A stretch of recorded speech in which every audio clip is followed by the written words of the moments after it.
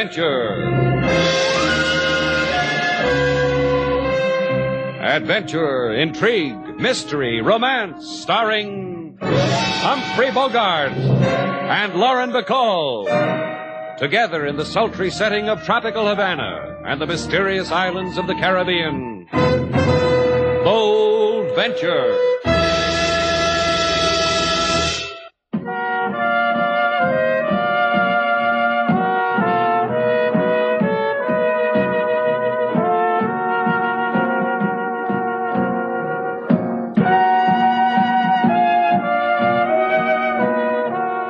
Once again, the magic names of Humphrey Bogart and Lauren Bacall bring you Bold Venture and a tale of mystery and intrigue.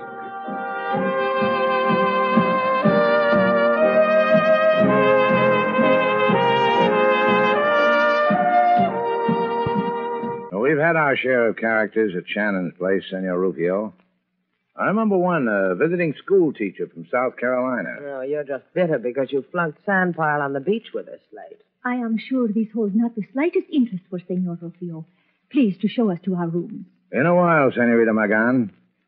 What I'm trying to say is a lot of people have passed through here for sleep, for fun, for whatever reasons they had to make Shannon's place a stop on the road. But as far as I know, never a reason like Senor Rufio's. I am honest enough to admit I wish to use your accommodations to hide. What'd you do, kid? Heist?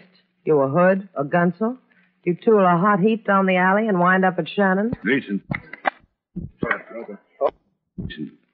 In Key in the Bahamas, I am feared, hated. I walk in the streets and children make the mark of death on me, on my shadow. Oh, just a stinker, huh? I thought you tooled hot heaps. What are you running away from, Senor Rufio? From my conscience. I'm getting old. I wish a place to hide from my sins and grieve for them. Senor, you are weary.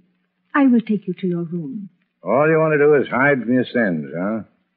Can you give me a guarantee one of your hometown citizens won't suddenly show and, uh, well, you know, kill you, beat you to death? A fair question, if I ever heard one. Yeah, I gotta know these things, Senor. Senor Rufio is a man of great wealth. He will pay well for accommodations. Please, Senor Shannon. As the nurse of him, I ask you, please. All right.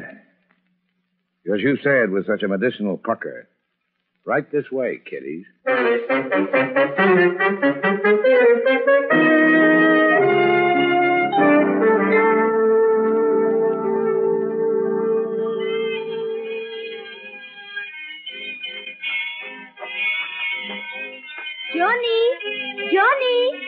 Hey, hiya, Lita. Lita, baby, how are you? Happy to see me, Johnny? Happy. Listen to that carousel, honey. Background music for the way I feel. Walk with me. Away from this place. I wish to talk to you. I can't, baby. Give the customers a long ride, Johnny. Walk with me. Look, Johnny. what you tell me to do is what I do. Did Rufio come with you? Listen to me, Johnny. Uh-huh.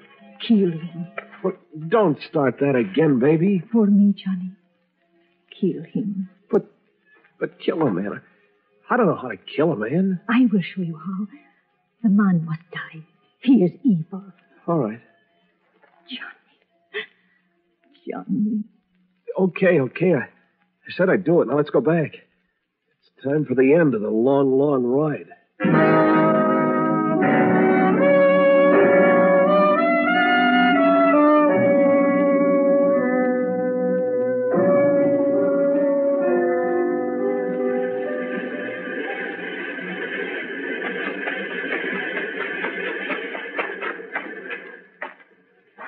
Guess who, Slate? Take your hands off my eyes, Benson. I'd know you anyplace. Uh, you're a never-ending source of delight, Slate. A girl gets girlish, does a frothy thing like putting her hands over a fellow's eyes, and says, guess who? She gets called a Benson. Worried about something? What are you worried about, baby? That girl? That Senorita Magan? Oh, I don't like the way you've been looking at her, Slate. Forget it. She is beautiful. Sometimes when I'm not watching you, uh, do you look at me like that? I said forget it. All right. Slate, Why don't we do that sometime? Do what sometime? Take a horseback ride in the moonlight. Now, whatever made you think of that? Because it's moonlight and because I hear hoofbeats. Someone's riding, probably around that curve of beach. Why don't we do that then? Yeah, why don't we, sailor? Come on.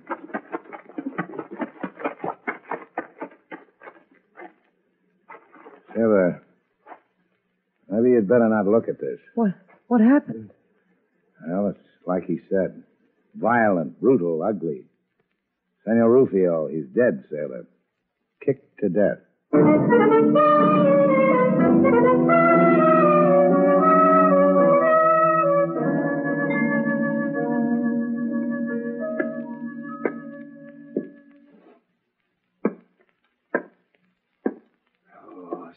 Down, Senor Shannon. Why do you not sit down? You give me four walls and a small room, and I've got to pace it off. It's a quirk with me.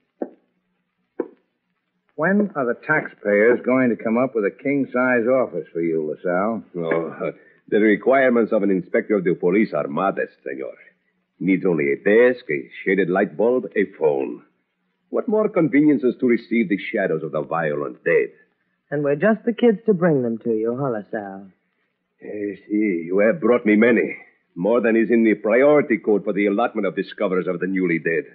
Well, what do we do about it, LaSalle? Sit here and philosophize on the aesthetic aspects of finding a man who's been killed by a horse? That's the new police method? Come off it, Slate.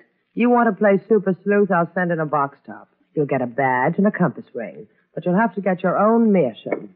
Yeah, that's right, Sailor. Laugh it up. Make a murder funny with a yak. Go on, Sailor. You're just the girl who can do it. Please, please, you two. Your domestic sprat, sprat in another place. Here, there's another matter to consider. Yeah. The murder of Senor Rufio.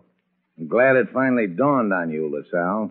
The death, I will concede, by the trampling of a horse. But murder? Hmm. Because Senor Rufio told us it would come to him like that. Maybe not exactly this way, but brutal, violent, like it did. It is known here in Havana, senorita, how Rufio deserves such dying. Because he made a Jumento Key a feudal tyranny. He owned the land, the homes, the water, the power, the very people themselves. A tyranny of copper mines, of private zoos, and in some, the men were the animals. Well, maybe he was all that. But he was murdered. That fits it square into your little niche, doesn't it, LaSalle? The hoof prints of the horse were washed away by the surf, Senor Shannon. They could have led us to someone. Perhaps to a murderer. Perhaps only to a frightened horse who threw his rider. Who, maddened with fear, trampled, kicked until, until... Oh, come on, sailor. The man wants to call it an accident. Let him. The man's tired, so let him. Si, senor. What the senorita said. You want to play sleuth? Send in a box top.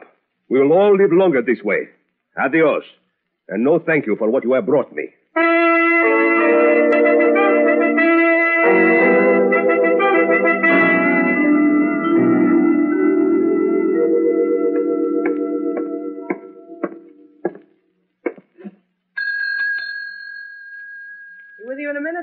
Let's get with it, sister. I'm in a hurry. Well, maybe you've come to the wrong hotel. Shannon's place is dedicated to leisurely living for people slow with a buck. I got the right place. Where's Slate Shannon? What do you want him for? You're the type that answers questions with questions, sis. Try the civil tongue. It's important. Leslie Shannon. He's got a bug in his carburetor. He's fixing his boat. Uh-huh. Now, who are you? Some call me Benson. Look, sis, I don't have a lot of time for quirky people. I want to tell Slate Shannon a little tale about a horse. A horse, huh? One that tramples people to death? Just about a horse. I run a riding stable. It's about one of my horses, one that doesn't do anything but ride people up and down the seashore. Kind of stupid horse. Who only knows one thing how to find his way home in the dark. Wait a minute. Be with you in a. Hey, what's the matter with you? You got a thing against phones? I don't want you to call anybody, especially police types. You were calling a copper, huh? Why shouldn't I? The man was murdered last night.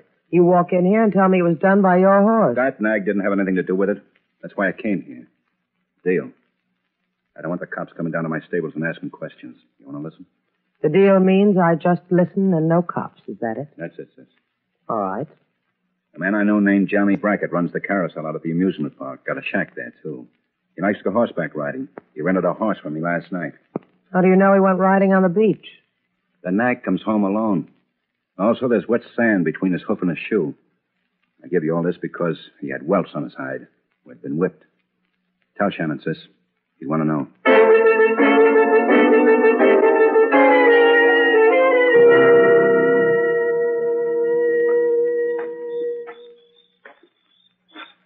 Nothing like a closed down carnival to bring on the lonely, is there, Slate? Yeah, step up real close, lady, and I'll give you a rundown on all the good times we had here together. Yeah. Remember when I had to break it up between you and the tattooed lady? well, maybe you shouldn't have done that, sailor. She promised me the good life, all the tattooing I could handle. And I said if it was a question of having needlework done on you, you didn't have to have any. What's the matter, Slate? You taking a moment to regret? Go home, sailor. What's with you? The sight of a deserted carousel brings back such tender memories that. That man lying there on the carousel. He looks. Yeah, doesn't he? I told you to go home. He's dead, isn't he? Yeah, trampled like the other one. This time with a twist, under the hoof of a merry-go-round horse. Slate, it can't be like that. It can't. Go argue with the dead. Go ask them why they die the way they die. It's the end of the ride, sailor. Go home.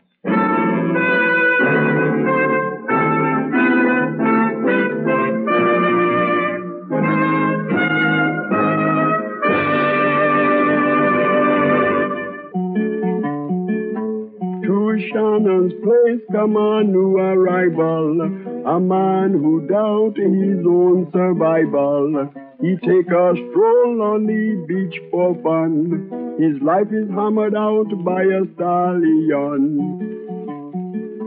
So Shannon go to amusement park, find another man with stallion's mark. Cause of death, the truth I tell, was a wooden beast on a carousel. Those unhappy times. Please tell him to stop. King. Yes, Mr. Slate. However, you must tell her I do not make my song for mirth. Rather, it is my way of grieving. Miss McGann understands, King. Have they discovered who this man was, Senor Shannon? He of the amusement park? Yeah, it was pretty easy. He was the boy who ran the carousel. Name's Johnny Brackett. Drifter. Did our jobs to keep himself out of hock. But, Senor, you have told me that this Johnny Brackett had the mark of hooves on his body, even as did Senor Rufio. What madness is happening, Senor? Like to have been thrust upon a vicious dream. Like to be. I've got a shoulder for this sort of thing, Lita. Here, use it. Better? Please. Thank you. The both of you. I will be all right. And Senor Shannon, Just name it. take me back to home and to Key. You have a boat. Take me to home on the Key. You will understand I cannot stay here. The Bold Venture's got a carburetor that's been acting up, but it'll get us there. All of us. You, you, and me. I'll take care of you, Lita. Don't worry about a thing.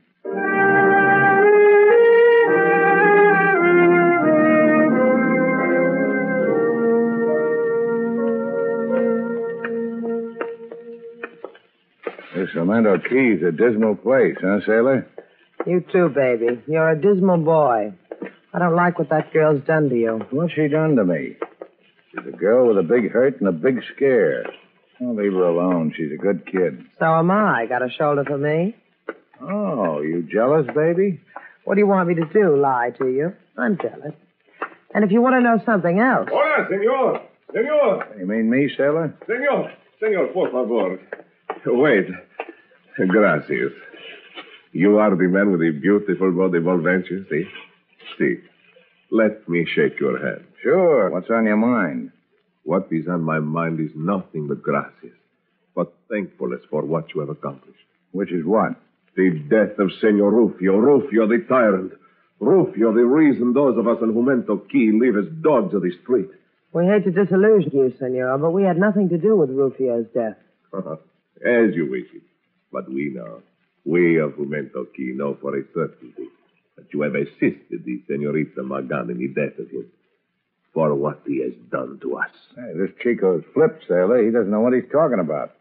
Let's listen to him a little longer, shall we? Not me, baby. I'm going to Havana. You coming?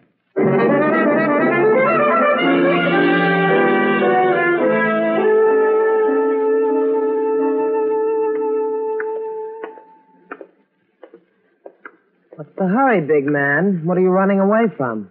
You like commando sailor? Stay in it. Buy it. Curl up in it. Wear it for a sarong. They haven't passed the law yet that says I gotta take you back to Havana with me. So off the arm, huh? You're leaving something out, kiddo. You want to tell me on the boat? Or you want to throw it to me as a farewell kiss from the shore? I'll kiss you with it on the boat. After you, lover. A slight fee for passengers, Buster. If you want a moonlight cruise to Havana, you gotta work. Get on that. I know what you're running away from, Slate. That girl, that Lita. She sobs. She goes helpless all in a heap. She kills a man they say wronged her father. And another man for who knows what reason. That's the technique, huh, kiddo? How to win a lover in two easy killings. Honest, lady, the visiting period is over. A clever saying we have, we mariners. All ashore that's going ashore. You're going to slug me, big man? Throw me overboard? Because you can't live with it, your new girl's a killer? You coming with me, sailor, or are you going to stand there and give a performance? Me, I want to check that carburetor again. Didn't like the way she acted coming over.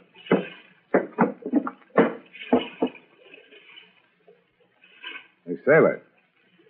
If you want me to watch, Captain, I'll be. Hey, look. This thing rigged to the carburetor. A bomb, sailor. If I'd have given her the choke to start the motor, we'd have been killed.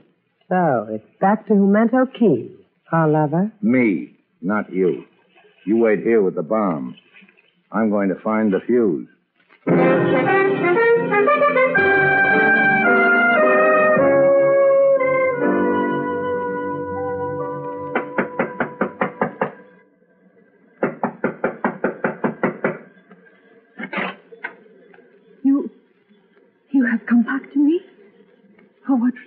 Oh, Shannon? It'll be easier to tell you if you put that gun away, Lita. This gun. I am frightened of things that have happened. You have come back alone? No, but what troubles me, I, I don't need help. You and I can settle it. Here, like this. This is the method. The farewell repeated. The goodbye sung again. Because now there is a gun at your heart. It doesn't have to be like that, Lita. Not between you and me. Your lips are much sweetness. And they are also of things I do not understand. Goodbye could be one word. We never spoke to each other. And the other girl, you will let her go away from you? You will stay with me here? Sure, I'll stay if you want. Because you changed all that. You killed Rufio and you changed all that. You think of me? I killed Rufio? Well, doesn't everybody? And I'm the type that strings along with the crowd, baby. And if I said to you, I am no murderer. I do not kill. If I said to you, I am a woman who grieves when death lays its cloak in her path, weeps as others weep. What then, Shannon? Then I'd say I hit every light on the pinball machine. But still you must rid yourself of the other one. Wipe her tears as you did mine. But rid yourself. Like I said, Lita, whatever you want. Because you want it. When I get back, we won't need the gun anymore, will we, Lita?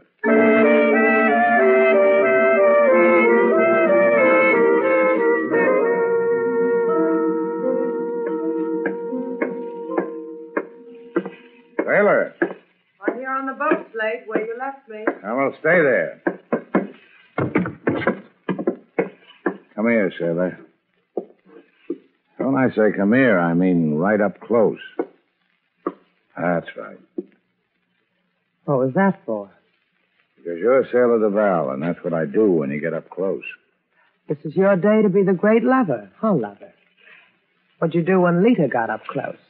I looked in her eyes. And you made passes like this in front of her face. And she floated on air and gave up misty vapors, I bet you. She's a killer. I think I've known that all along. And she planted that bomb because she wanted you dead, too. Could be. What are you going to do? I'm going to make sure. Where's my gun, Sailor? What do you want it for? Stay close, baby, and I'll tell you. Just stay close.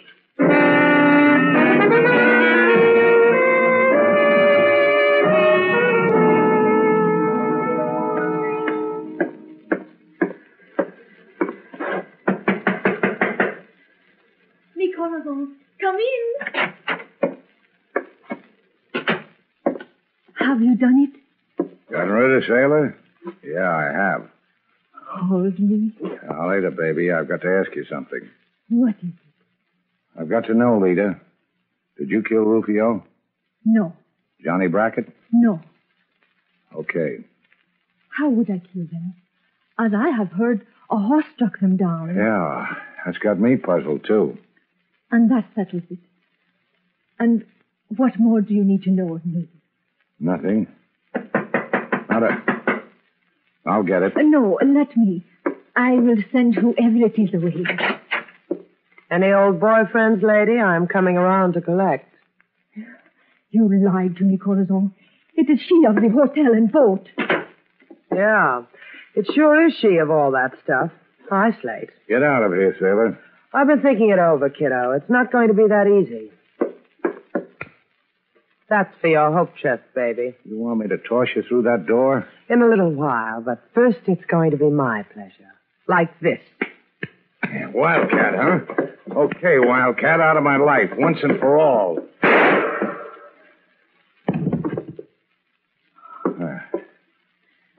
Well, she's dead, Lita. You. You kill so easily, Corazon. You wanted me to get rid of her, Lita. She's rid of. You killed. Killed. And so easily. I like that. It is pleasing to me. Hold me. Hold me. No. You did this for me. And now you do not want me? Why? All of a sudden, I'm a fugitive. What kind of life is that for you? For me, it is pleasure. Because. Because I am of you. Like you. A killer, too. Now, don't lie to me, Lita. The killer of Rufio. Me because I swore it. For what he has done to all of us here in Memento. The killer of Johnny Brackett. Me because he became a weakling and would not kill for me. Because weaklings must die. It's a killer's world. Yours and mine. You planted that bomb, huh? Yes. I was almost the killer of you. Because I feared you suspected what I had done. Those men were trampled to death. How could you have killed them? With the shoe of a stallion nailed to a club. Who was not that clever, Mial? On your feet, sailor. Hmm. Hi, Lita. Look what came back from the dead. Slate! Slate! What have you done? Fire the blanket, sailor, so she'd be quiet and lie down and listen to what you had to confess. You made love to me. Tricked me. I'll be a fool. Tricked me. Save the tears for the jury, honey. Slate, get her a cup. I'm tired and I want to go home.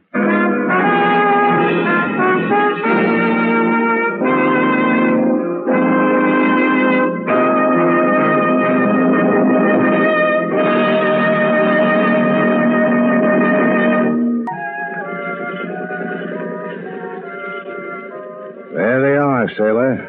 The lights of Havana. Beautiful, huh? Who's looking at lights? You got something else to look at? Mm-hmm. What? You. yeah. yeah, I've been told.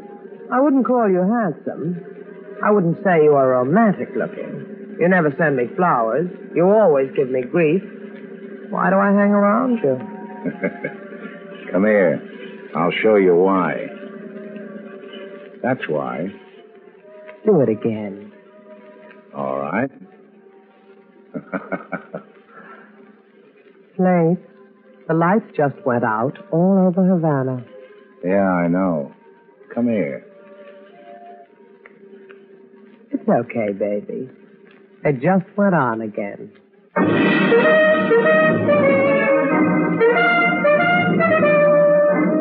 And so, our two stars, Humphrey Bogart and Lauren Bacall, have brought to a close our latest Bold Venture story. Special music was composed and conducted by David Rose. May we invite you to listen again next week at this time for another exciting adventure starring Humphrey Bogart and Lauren Bacall together in Bold Venture.